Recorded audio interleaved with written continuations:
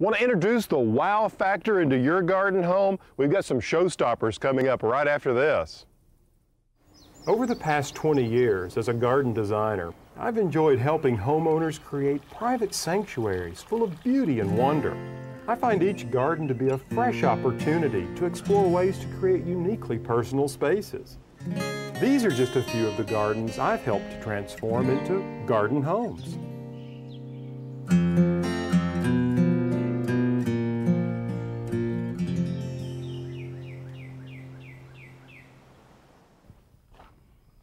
Hi, I'm Allen Smith. Welcome to the Garden Home.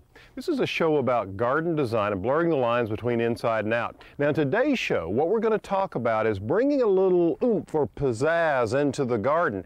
And we're going to do that with annuals. Now, don't go, oh gosh, I don't want to grow annuals because I have to plant them every year. If you think that way, you're going to miss out on lots of glorious bloom in your garden. Just take a look at some of these. And if you're thinking these plants must have cost me a fortune, well, I'm here to set the record straight. For the price of a package of seeds, you can have beautiful plantings like these. I invited some seed experts into my garden to clear up some of the common problems that people have when it comes to planting with seeds. I'll also share with you ornamental grasses that certainly add drama to the landscape. Now that's a plant with some flair. And I'll show you some plants that I'm happy to invite year after year into my garden because of their proven performance. Right now, let's get started on a tour of some of the annuals that are making the garden home so beautiful.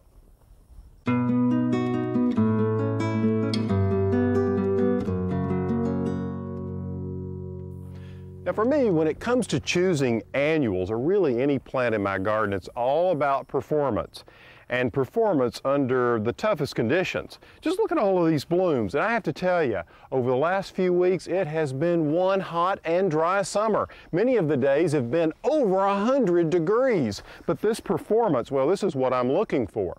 Now, let's stop just a minute and talk about the difference between an annual and a perennial. You see, annuals are plants that complete their life cycle in one growing season. So, the zinnias and scabiosas and the cosmos and all the things that you see blooming along here, well, you plant the seed in the spring, they come up, they bloom, and then at the end of the season, the frost knocks them back and they die. Perennials, on the other hand, will come back year after year. They are perennial in the garden. Some of our classic favorites are daylilies, phlox, and certainly peonies, which can last in a garden for up to 75 years. Now, let's get back to annuals. Take a look at this one. This is amazing. It's a petunia, you're right, but this thing is such an outstanding performer. It's called a supertunia. This one's called Vista Bubblegum Pink, and it's been performing like this, well, for five months in my garden. So you can bet this one's going to show up year after year. Now you may say, all right, how do you get them to bloom like this? Well, it's very simple. There are three things you need to keep in mind.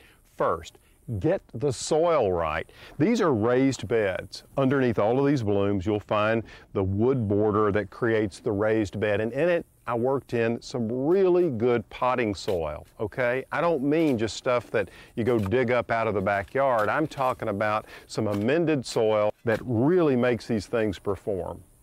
You don't want heavy clay soil. They need good drainage. Second thing is consistent watering we keep the soil consistently moist. That's so important. I'd never let these go completely dry because if they do, well, it debilitates the plant, the blooms begin to drop, and it takes, even though you're going to put more food and water back on them, it takes them three to four weeks to recover. The third thing is feed them. These things are heavy feeders. They really, really need to be fed, I think, with a slow release fertilizer in the beginning and then throughout the growing season, supplement them with some fish emulsion or some sort of all-purpose liquid fertilizer. That's what makes them perform. Now, come on, I want to show you some more things around here that are in full bloom. You're going to love them. So if you take a look right here, you can see I've got some of these old-fashioned single zinnias really putting on quite a show. What's so great about having a few of these every summer is that you can grow them directly from seed, they come up in no time, and you can cut flowers from them for months and months and months. And look at this coleus, isn't this gorgeous? I like to mix the foliage plants with the bloomers. So this deep burgundy color with the Little chartreuse edge is perfect to go with the zinnias. And then over here, look at this. Grown from seed, this is one of my favorite everlastings or plants that you can dry. This is a celosia. And just look at those tall vertical blooms. This thing will bloom all summer long.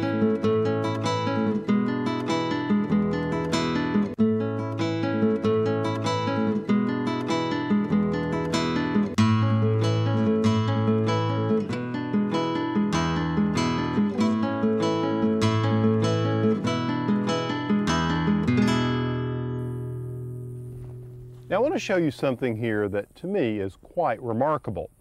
This is a bed of sunflowers. Now you might say, what's so remarkable about sunflowers? Well, what I'll say is that they germinate so quickly. Look at these young plants. These were planted only about two and a half weeks ago, and look at how they're growing. This is a plant that anyone can grow. So if you're a little nervous about going into the realm of annuals and sowing seed, start with sunflowers. And just don't think of the single yellow sunflower. There are lots of sunflower varieties to choose from. In fact, one of my favorites is right here. This one's called Moulin Rouge, and it has a beautiful mahogany colored flower. Now, if you consider sunflowers a bit on the commonplace and you want something a bit more exotic, come over here. I want to show you something that's downright bizarre. So take a look at this. It looks like something from another planet, or at least its seed pods do. This is a plant which is in the Asclepias, or butterfly weed family, okay? You can tell that by the tiny little blooms, the fact the butterflies love it, and it's very milky, like a milkweed. Now, the name of this is Gymnocarpa, and the cultivar name is Oscar. So here's something, an annual that you can grow from seed that is extremely bizarre and interesting. And another thing about it is that you can actually dry these round seed pods, which look sort of like, like some sort of sea creature. Now some of the other interesting annuals I'm growing here are this Polish amaranths with their amazing plumes and gorgeous foliage, as well as a little zinnia. Well, it's actually not a zinnia, it's a tithonia, but it's called Mexican zinnia and has incredibly bright orange flowers. Now, as you can see, there's really something here for everyone, the more sophisticated gardener as well as the beginner.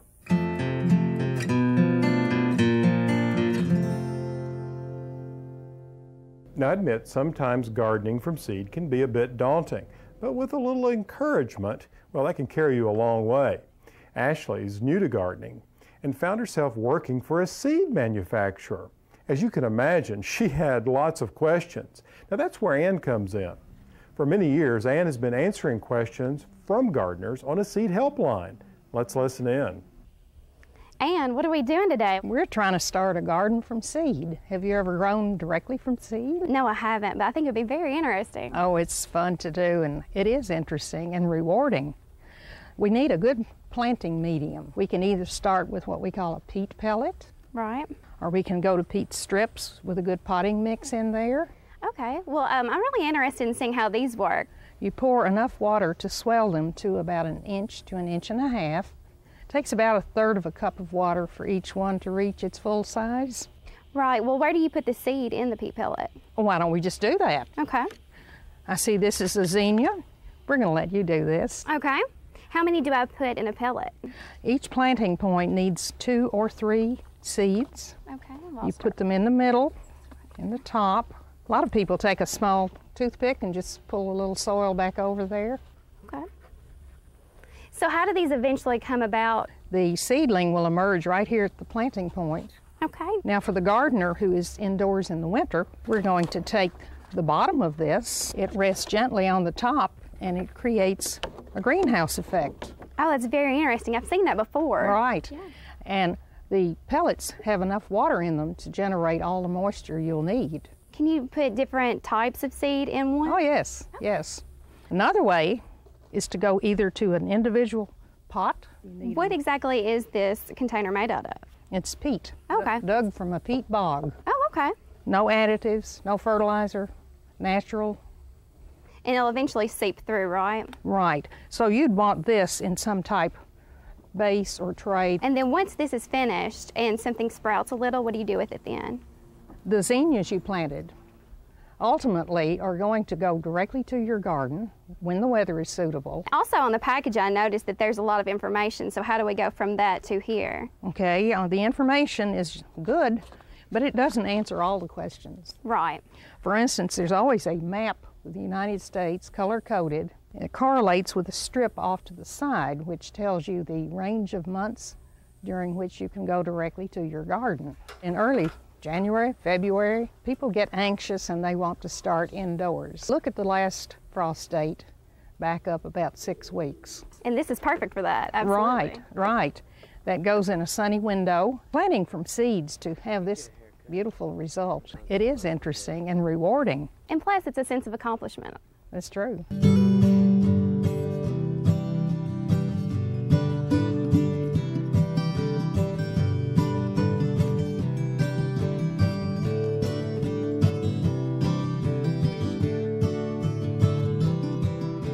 Whether you're interested in growing flowers to cut or just to enjoy in your garden, there are always a few basic principles you can follow for a more successful growing season and a more beautiful garden. Let's start with water. The key is consistency. You never want your flower beds to dry out completely. This can be tough on your plants, particularly young ones. They rarely recover. One of my favorite ways to water is to use a soaker hose like this. It deep soaks the ground, which encourages a deep root system and a stronger plant. Then I just put a layer of mulch around them to help hold the moisture. Feeding is also important. To grow a beautiful stand of annuals like these and maintain them, I find that they like to be fed about once a month. Now there are a lot of different brands of fertilizer out there on the market, but I go for an all-purpose fertilizer that has a high ratio of phosphorus. That'll encourage lots of blooms, and that's the middle number on the label. Now, I also go for one that's water soluble or is a liquid because this gets the nutrient into the plant quicker. Another way to keep your flowers blooming longer is to keep the dead blossoms removed. Some flowers like zinnia and spiderflower actually bloom more the more you cut them. Then there are other varieties like these begonias, impatiens, and periwinkle that don't require deadheading at all. No matter what the flower is, if it grows tall and leggy by mid-season, I cut it off to about six to eight inches fertilize it, and then it'll flush again. Now at the end of the season, to encourage hardy volunteers to come back next year, things like larkspur, bachelor buttons, and globe amaranth, I shake the plants out and make sure the seed gets scattered through the beds. The next spring they come up and bloom again.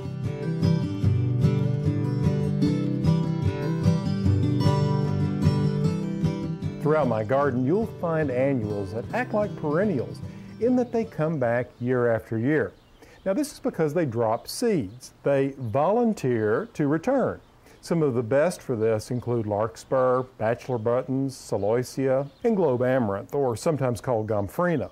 Now, not only do I make room for this plant in my borders at the Garden Home Retreat, but it's also a staple in my city garden. You know, over the years, I've discovered that my summer garden wouldn't be the same without the help of annuals such as Cosmos, Nicotiana, begonias, impatiens. And this little guy I always come back to each year called globe amaranth or gomphrena. Now I like it because it comes in a range of colors, a magenta purple, a white, a strawberry red, and this one, which is pale pink. I like it the best because it blends with all the plants I have in these borders. Another aspect I like about this old-fashioned annual is that you can look at it as an everlasting in two different ways. First, if you let the seed drop to the flower bed each fall, you'll be rewarded with volunteer plants each spring. And the second way it's an everlasting is that the blooms themselves will last a long time. Just cut them in the summer, bundle them together, and dry them for fall arrangements.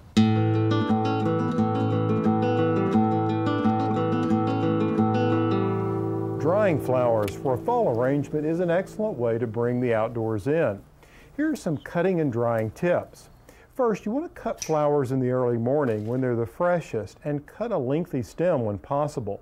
Get the flower into water as soon as you can and soak the stem as high as you can without the blossom touching the water. And keep the flowers in a cool, dry place. Now for drying, there's several different ways you can approach this. Hanging most flowers upside down will work. For fragile blooms like Queen Anne's lace, you might want to lay the bloom end down on a drying rack like this so that the flower doesn't curl up. For grasses with their beautiful plumes, all I do is take some hairspray and spray them so they don't shatter and fall apart. Now when we think about annuals, and I'm one of them, I tend to think more of foliage, plants, or blooms, and I forget about the grasses.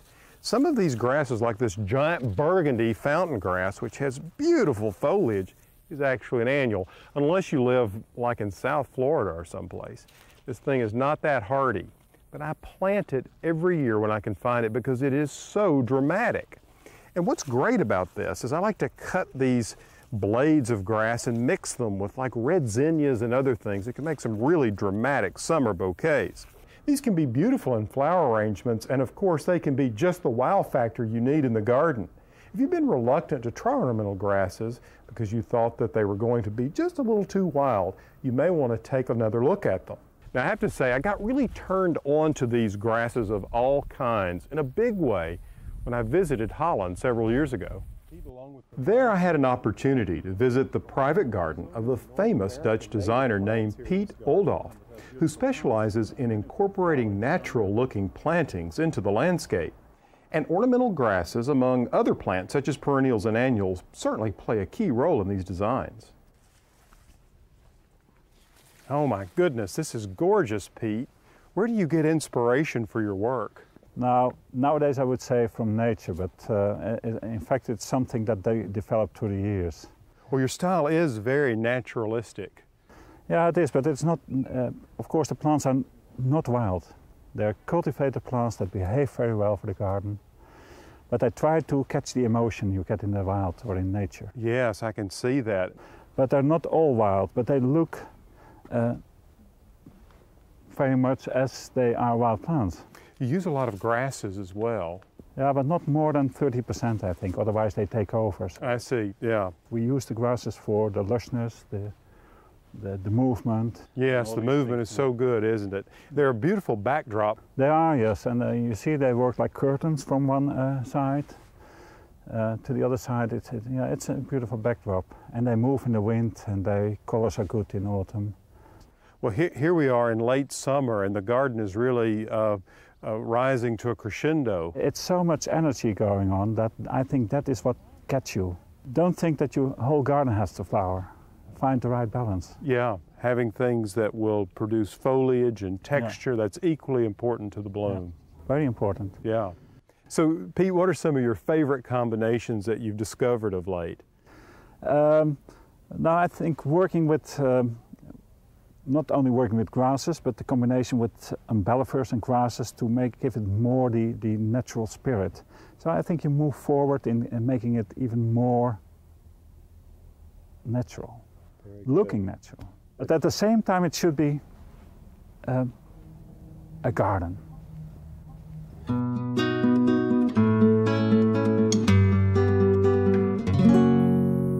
Even in the heat of summer, certain plants perform over and over and over again, like these coleus.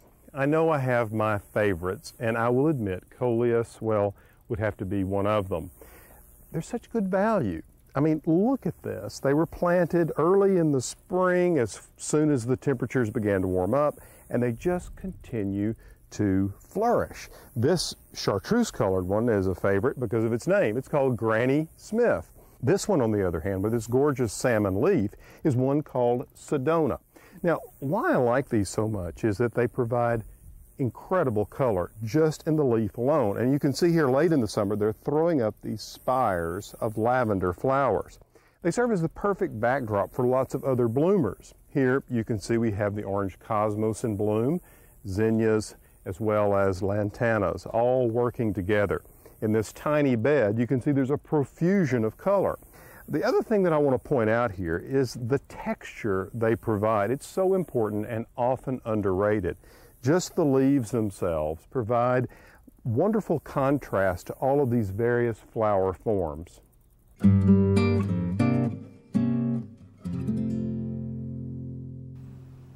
I enjoy visiting gardens where the family has really invested their time into creating something special. And that was certainly the case in the garden of Mike and Becky Owens, who participated in the garden tour during the International Master Gardener Conference in Little Rock, Arkansas. We started our gardening in Arizona when we first got married. We actually bought this house because of the gardens. We love the trees and the natural setting and what was already somewhat of an established garden here. It's basically a woodland garden, but it has a formal part to it and an informal part to it, a part that we've let go natural, in which um, that part is the back part of the gardens and it can only survive with the natural rain that it gets. But the formal part, it's an old garden that was built in around the 60s. They had more formal plantings and we've, we've kind of loosened that design up and had more curved beds put in. Some of the other things we did was bring in more hardscape. The first thing that most people notice when they come in through our gate into the backyard is the water feature and then the greenhouse. We put the water feature in its spot for the greeting and we have an, an open iron gate and you can actually hear it and see it as you approach the backyard. So um, it's, it's very uh, appealing to call you in. And why don't you tell them about our greenhouse? We also have a, an old glass greenhouse that was built in the 80s. We don't use it functionally now, mainly because it's very inefficient. It's not caulked or anything. It's built by the old standards. And actually, we've just reacquired it because my daughter played in it for the first five or six years that we were here and she's just relinquished it as she's um, outgrown it now. I can go in and plant in there. We still probably won't overwinter plants because of the safety issues with it, but we work in it and keep our pots and tools in it as well. We have other areas in the yard like a patio, uh, which we is a stamped concrete patio, which we entertain on, and everything, the views from that patio were meant to really be good. So, for instance, you can see the greenhouse and the water feature. There's a play area for little children because we'll often have families over with little children. And then it's a point from which we actually walk the paths. We have a lot of paths and which are mulched, and we, my wife and I, will walk oh, frequently down these paths. And we like the effect it has on us. It's very calming. And there's a little secret hidden garden area back in the very back where my daughter and our next door neighbor used to play when they were little, and they had little teapots and a phone back there. We didn't tell her for years that it wasn't hooked up, but it's back there with little tables and things. And most of the paths were set up, and we spent a lot of time leveling them because she ran through the garden. Um, we, so we had many years in which she enjoyed it, and I hope she takes that on for the next generation for her children and enjoy gardening as much as we did for her as well.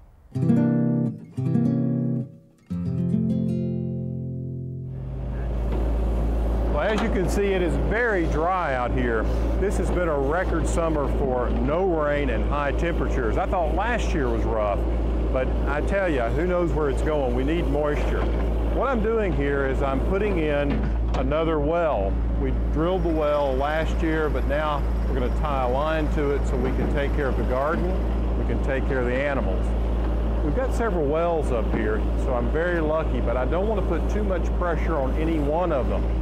This well up here was a great find because what we have is 60 gallons a minute coming out of there. We had to drill to 280 feet. So what Ricky's doing here is he's burying the water line and we also had to run electricity up there in order to run the pump. I don't like power lines standing out in this landscape, so we buried them.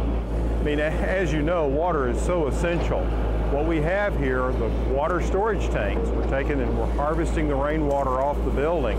We also have to lean on these wells, and we have six ponds, so those are our three water sources at this point.